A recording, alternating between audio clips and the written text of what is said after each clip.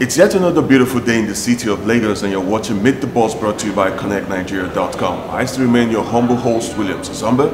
And today, yet again, as we always do on the show, we are going to be bringing someone very special. When I do bring this guest in, you know why I use the word special.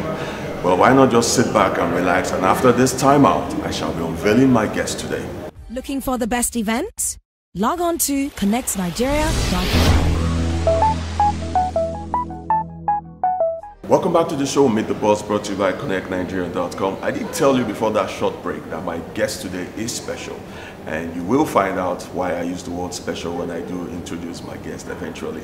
Well, join me as I welcome to the program today the one and only Babatunde Shobanjo, uh, the COO of Leo Burnett. Sir, you're welcome to the program, Thank you very much. and it's nice to be in your wonderful and I must say beautiful environment. Thank you. Thank you very much.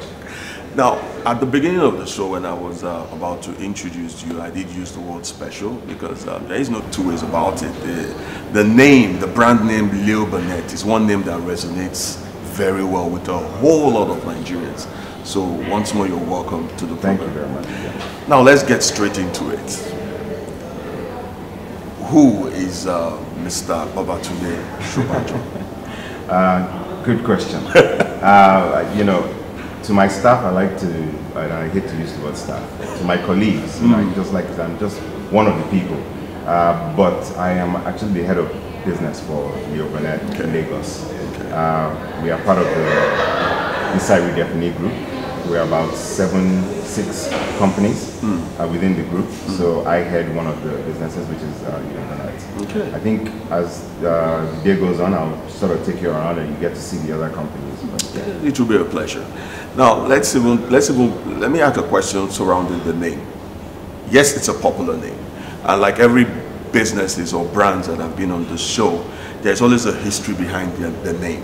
So let's let's go on. Let's let's take on that. Why the name Leo Burnett? What's the history behind that name? All right. Uh, thank you for the question. Leo Burnett is actually our founder's name. Uh, Leo okay. Burnett was founded in the 30s in Chicago, Illinois. Okay. And uh, as of today, there are about uh, over 85 uh, offices worldwide. Wow. I think we should be about the 85th one.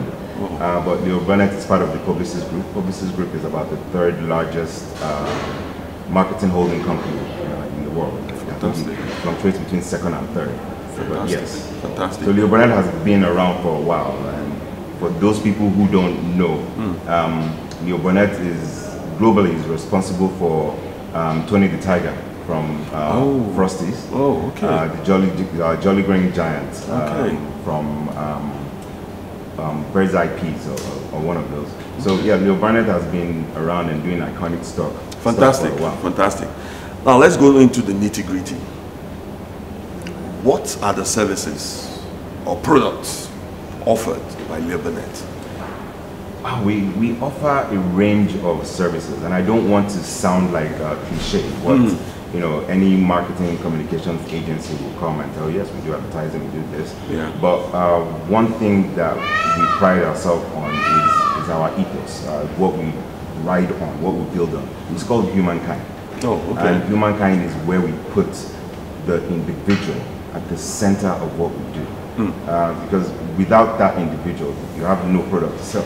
So we need to cater to that individual's needs, to their demands, to, to what they are saying. So in that, you know, we're able to tailor services that suit the consumer, or and I hate to use the word consumer, to, to suit the individual Okay. uh, to address what our brand's needs are. Fantastic. So it's like you like you like personalizing whatever service you're rendering. even the Give way human face. Yes, and it's not just service external, but even internal. Hmm. Humankind is something that we hold very dear. Oh, so that's nice. you know, for us, the person who serves you coffee is just as important as the guy who The goes to go boss. and file the one million naira check. Hmm. Because that person that's giving you coffee, you know, his job is also as, as part of satisfying your need, also keeping you active, keeping Yeah, you going true, to be able to deliver something. So that person is just equally as important from the first line of the food chain to the very end. Very true. Well said. Well said. Now, for every business, there is no doubt that uh, there, there are usually challenges that comes that are very peculiar with different industries and different sectors. So let me let me take you on that. Uh, what what have been some of the challenges that uh, your your brand has faced over the years since it started operations here in Nigeria? Um, I mean, I guess it's to look at the big elephant in the room and know that where we came from mm. uh, last year and even this year, mm. you know, in, in trying to adapt to our new normal. You know, Yes. COVID disrupted a lot of things. And, but the good thing, and, and I don't want to sound like say that COVID was a good thing, but it has forced a lot of people to rethink the way they work true. to rethink their value offerings to, to the consumers and to individuals. So our industry, very particularly, has evolved, uh, I would say almost five to 10 years in one year. Uh, so we're not used to, we're not, look, the way we used to do uh, marketing back then. You know, everyone saw your TV ad, Yes. your billboard, your radio, Yes. but what happens when you're stuck at home? You know, no one's looking at the world. yeah. No one is even buying newspapers anymore. True. So we've been forced to look at what we're doing. Where digital in the last year has grown by close to 50%. And, you know, coming into this year, uh, digital um, spend is going to increase. While as things are easing up, yes, traditional media is going to actually get back to normal. But it will still be at a decline compared to what digital is doing. It's doing. So, you know, we are where we, we actually take brands to meet the consumers where they are. And who are the consumers today? The majority of our consumers are our, our millennials and Gen Xers. True. And, and where are they? They are in the online space. Very true. So how do we take our brands to go and meet them? And I have a very funny story. I was interviewing uh, someone to come and join us, very young lady at the time, and we were talking about, oh, what ads have you seen? Mm. What TV stations do you work? And she was like, oh, I don't watch TV. It's like, why do you want to work in advertising? And you know, I, I thought she was being awkward, but all of a sudden I was the one who was behind. Yep. Because you know, for her, that little 12-inch screen is where everything is done from morning to night. Mm. And I'm sure the same for you. very true.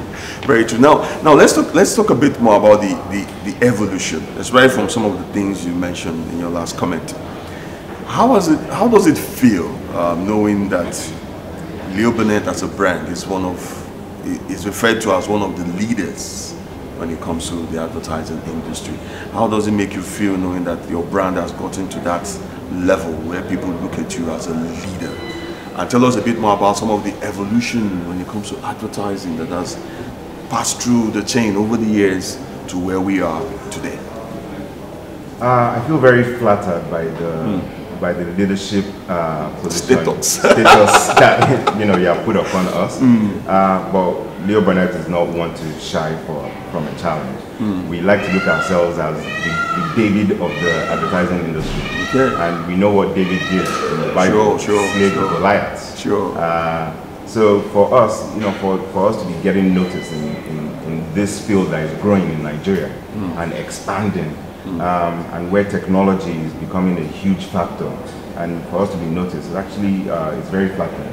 Uh, but for us, you know, looking at, at the way uh, the industry is changing, one thing I always tell my people, and you know, I always sit down with my uh, head of creative, and you know, we're always bantering. The one thing that we, we can see the shift in the industry we used to have a situation where our traditional means of advertising used to be the lead, uh, used to be the lead way of communication. So your TV, outdoor radio, that was great. And then we used to use digital and experiential as a support medium. Okay. Uh, in today's day and age, that has been flipped on its head. And uh, in today's day and age, we have digital as the lead medium and traditional being the support medium. And what we are now beginning to see, the disruption in the industry. Um, I remember when I, you know, I finished school, I was 18, you know, you still have to go and uh, do your master's or go and get Yeah. a job. Yeah. But you know, from 18, you're beginning to claim adulthood. Sure. But we're beginning to see there's a shift in that, where entrepreneurial adulthood is literally starting from 13, 14. From the cradle. you know, how did uh, uh, um, Kylie Jenner become a billionaire before she was 21? Yeah. So the entrepreneurial spirit is starting earlier. Yeah. Uh, so how do we start talking to these consumers who are actually starting earlier? So we can begin to see that the shift is actually it's, it's drastic now. Hmm. Uh, we've gone past the industrial age. Uh, we've gone past the technological age. We're at the disruption age right now. So Hmm. Yeah. Fantastic, fantastic. Now let's look at um, the the climate or the environment in which we find ourselves. Um, still, still as a, a kind of follow up to the issue of challenges. Um, how would you rate, from your experience so far, how would you rate the business culture in Nigeria, generally speaking, from, from your own perspective? The business culture is changing.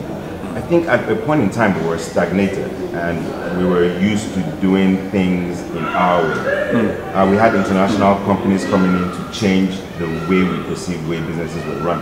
Yeah. Um, a lot of companies in Nigeria are actually affiliated with international companies, but the culture of the Nigerian means you cannot take what is working over there or the way we communicate to consumers overseas and think And that think it's same thing automatically to work here. here. the, the Niger no die spirit and attitude, you know, we deal with a lot. We're the most Yeah. resilient people. So for us, we have to, you know, create our own strategy for communication. And then we have African countries looking to us as well. We are, we are like the benchmark. Yeah. Um, and then you now look at what's going on today. Um, and one thing I also talk about a lot is the marriage of technology and technology, digital, and marketing. And I think they all work hand in hand. You see what's happening in the fintech space. Uh, fintech space right now, uh, the way these guys are starting up businesses, getting notice from abroad. Um, the traditional banks are they're, they're literally shaking in their boots because these guys they're causing a huge disruption.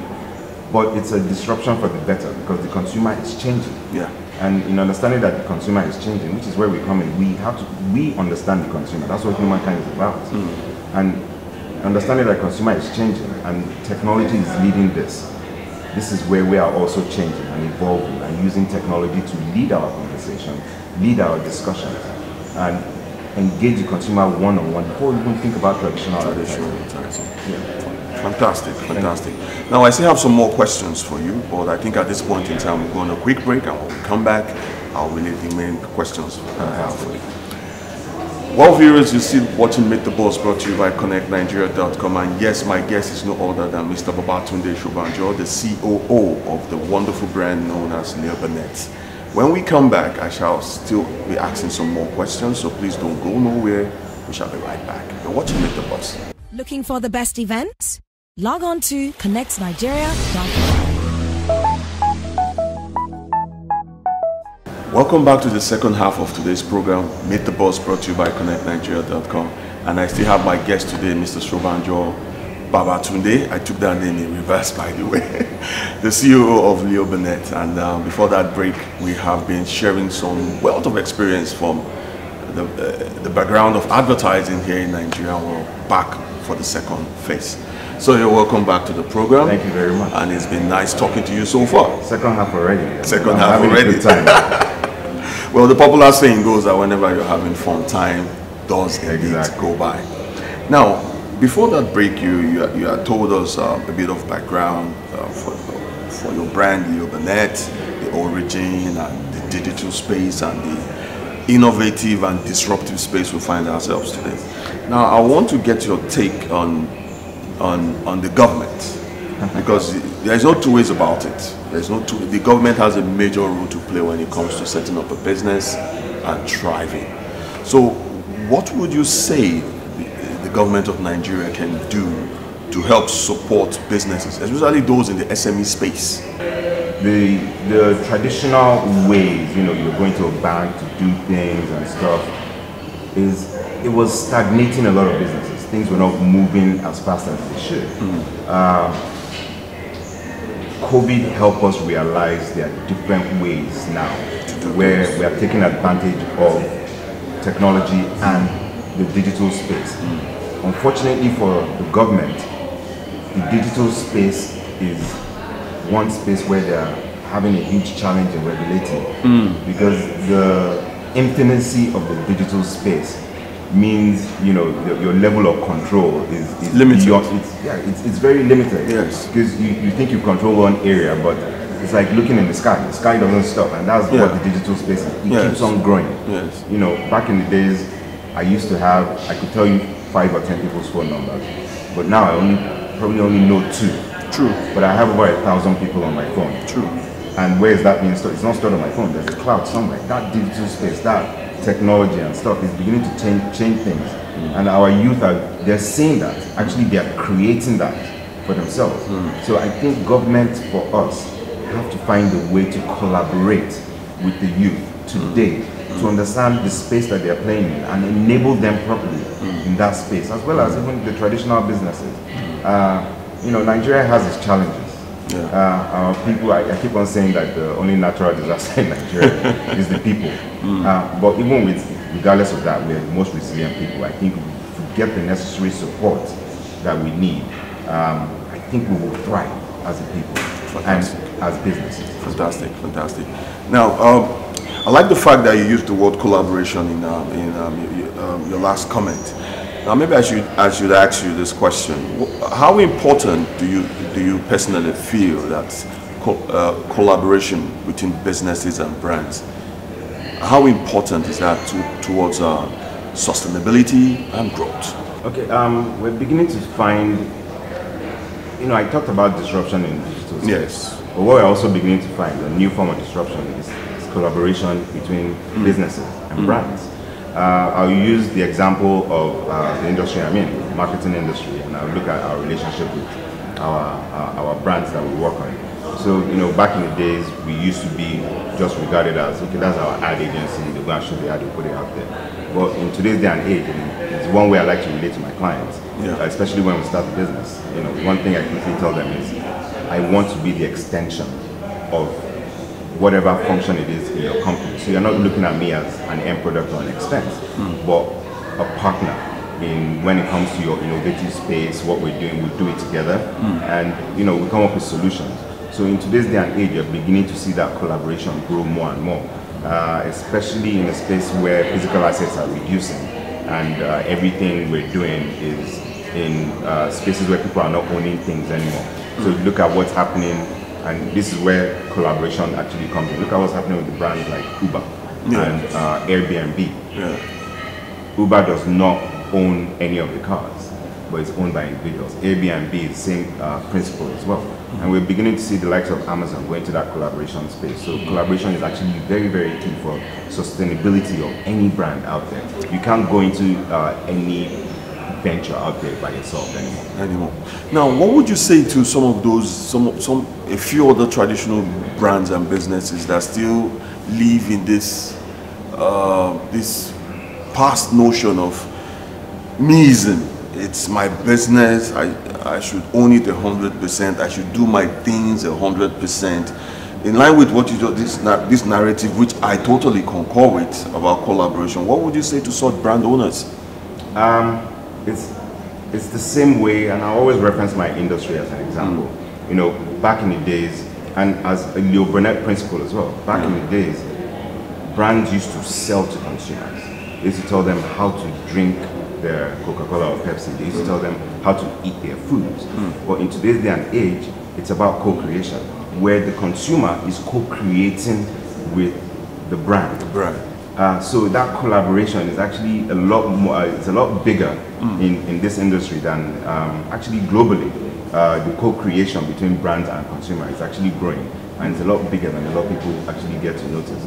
So if you go into any venture thinking you are the one bringing the exact solution, uh, you, you end up like the businesses that thought that in the beginning and are no longer in existence. no longer in and today's uh, day and age where people do not have the patience and uh, in this day and age where I can just switch over easily, Yes. you'll be gone in no You'll be time. gone in no time. Yeah, well said.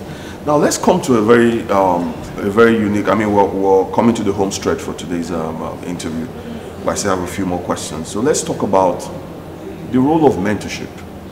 It's another word, and another very popular word we hear a lot, especially in the disruptive space. Do you have mentors? And if you do, who, who, who are they? Um, I have I have quite a bit of them, uh, but I, there's one in particular. Okay.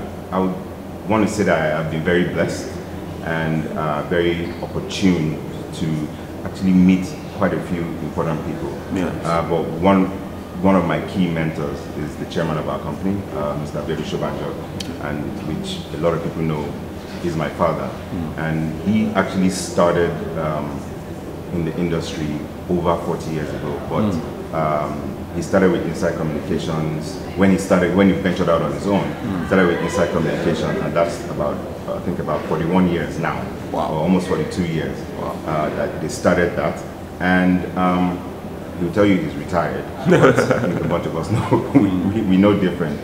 But you know, he's been like my inspiration and my mentor, and he's also been a mentor for some of the um, top uh, industry experts today because almost all of them, all the top people actually came through the University of Insight, as they like to call it. But uh, regardless of that, you know, um, I have the um, foresight um, as well as, you know, the, the benefit of hanging out with him, seeing him on a daily basis and him even being able to offer advice and also his relationships that he has he has op- opened me to, to that as well uh, where i get to meet a lot of influential people and i get to learn from them. Uh, but it doesn't mean like you know he just paves the road for you. Uh, he's also one of the people that believes in you know hard work. Uh, he's a stickler for time and discipline. And in your personal or, or, or professional life he believes it's something that you have to adhere to uh, to be successful so there are no shortcuts in life Fantastic. Now, as a follow-up to that, uh, so so so how so what would you tell? How important, in form of an advice, would you tell maybe upcoming um, um, brands or individuals to invest their time and energy looking for mentors? It is absolutely important, and I think you know, and I'm not trying to plug a book here. Yeah. I think anybody who is starting a business, especially our younger generation today, they need to pick up. Uh, it's one of my favorite books. Um, and it's a book on um, my father, Mr. Bill Shobanjo. Uh, basically, his business autobiography Okay. called The Will to Win. And if reading that book, it actually shows you the the journey from you know um, from humble beginnings. So he wasn't like um, look at Donald Trump, where he's always had a silver spoon in his mouth, and you know, and that you can see that across and the way he. Yeah, yeah. You know, my dad started from humble beginnings, and he grew his business to being uh, the biggest in West Africa. Uh, he even started at a time where the industry was dominated by foreigners, and you know, being in Nigeria competing with foreigners in on a Nigerian space where there are not that many people, and being Yeah. able to succeed, and being able to listen to those stories of success on a daily basis. You know, I think every young person needs to pick up a book to learn, but having a mentor that can guide you, uh, you need somebody to go to to, to it's almost like it's almost like when um, you know as a married person you can't figure out everything for yourself. You- you- at the point in time you have to go to your spouse Seek advice here and seek advice. And it's the same thing with my colleagues and, and, and everybody else. But you know the slightest um, advice I need or anything I'm thinking I, I tend to bounce it off him say okay what do you think about this uh, even you know for, for a man that is past 75 76 and the insights he can give you on the technology world. Will you know, at, at first, I'm like, okay, what was this guy? You know, you know, his time has passed. Yeah, yeah. But no, you know, the likes of him. You talk to, um, you know, our vice chairman, Mr. Jimmy- Awosika as well. Mm. You know, when they start talking about technology and digital, I'm like, isn't it past your time? Isn't But, You know, the one thing I tell you, always be open to learn Mm. on a daily basis. So. That's good. Now, it, interestingly, I have uh, a copy of the book you just you were just talking about the the will the, the will to win uh, by the story of Biodun Shobanjo. Yes. Now, how important would you say um, reading? Though you talked you touched it briefly. Uh, maybe I should start with saying, are you a book reading person? I've gone through phases. uh, there was a point in time where, um, you know, trying to get into the workspace and you're trying to take in as much knowledge as possible.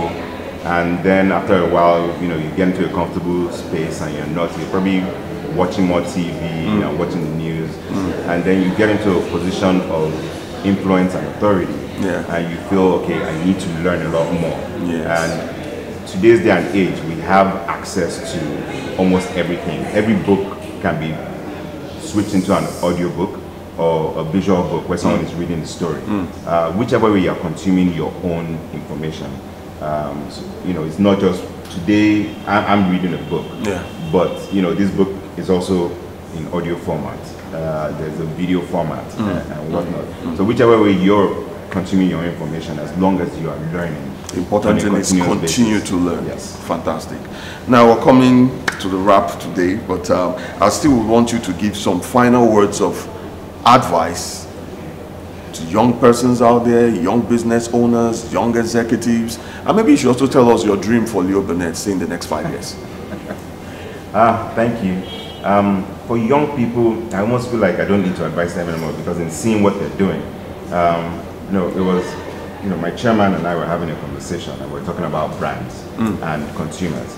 And um, we are saying, okay, where, where, where are the consumers today? Where's the uh, population of consumers? And it's within the Gen X's and millennials. Mm. And they even account for over uh, 60 to 70% of the population of Nigeria. Mm. And our brands are the ones going to talk to them. Mm. And if you're the ones going to go and talk to them, and I had this discussion with my colleagues as well, um, how do these people behave? Yeah. This is where consumer, again, you know, our way of working also comes in. Where, how do these people behave? How do they act? Mm. If I wear a suit and tie, I'm going to talk to them. Will they relate? Will they relate to that? Where these guys are? I, I, I, hardly doubt it. So, mm. you know, um, the the whole suit and tie suit and tie way of relating to people is gone. Everything is relaxed. You should be able to come down to somebody yes. or whichever way it is, it is and, and, be able to communicate with them and understand what they're doing. Mm. Uh, so for for the for the young people out there. Um, who are paving the way because these guys are new they're actually paving new paths yeah um, it's just to keep on the grind and keep on hard work keep on keep on working hard um, like I said earlier, there's no shortcut to success. Mm. So uh, it's just keep on grinding, keep on doing what you're doing, and make it an honest living. Good, good. And um, finally, where, where, where do you want to see your brand in the next five, five years? Oh, Leo Burnett in five years. We are we're doing some amazing stuff right now. Mm. Uh, part of what we're doing, like I said, centers around technology, and not just digital, but technology. Um, and a lot of our offerings that we're, we're, we're, we're bringing our clients to come and witness.